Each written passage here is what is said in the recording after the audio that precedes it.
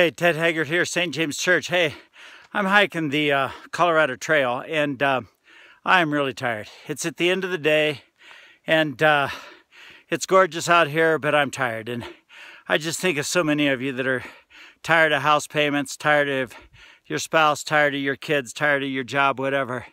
But listen, you're on a trail. And if you get off on the wrong path, it can take you a day or certainly hours, which would be in a lifetime, years, to get back on the right path. And, and sometimes you never get back on the right path. And so just stay on the path, go one step at a time, and you'll eventually get to your destination. So it's getting to be evening time here. You can kind of see the background behind me just a little bit. And uh, I have a ways to go. And I'm just going to keep doing it, and I'm going to keep doing it, and I'm going to keep doing it, and I will achieve my goal. So run a good race of faith. Keep the faith. Stay strong, and uh, it'll work out all right for you. You're going to get to the destination you want to get to. Okay, God bless.